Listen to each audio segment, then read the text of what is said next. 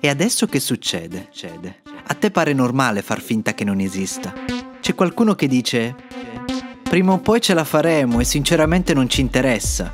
In verità tutto questo non è altro che un amore protratto.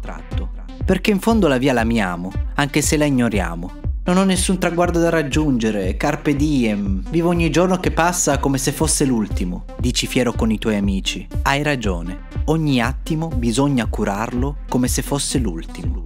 Ma essere vivi e pensare che non siamo parte di un percorso che scegliamo attimo dopo attimo, significa non avere il coraggio di scegliere. Mettiamo che hai appena finito l'università e dici di non avere nessun obiettivo. Non è vero. Tu l'obiettivo ce l'hai dentro, è soltanto che non sai come spiegarlo a te stesso, o forse non hai il coraggio di dirlo a te stesso e di conseguenza farlo sapere alle persone che ti stanno intorno. Voglio diventare scrittore, ingegnere, fare giornalismo, aprire un bar in Argentina, morire dopo aver danzato tutta la notte.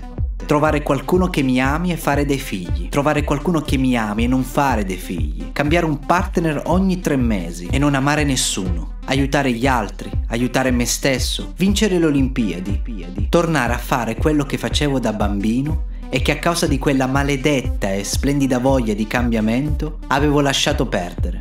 Una via c'è sempre. Adesso sei tu che devi imparare ad ammetterlo. Ma ricorda che in tutto questo grande gioco quello che conta sei solo tu. Quello che conta sei solo tu.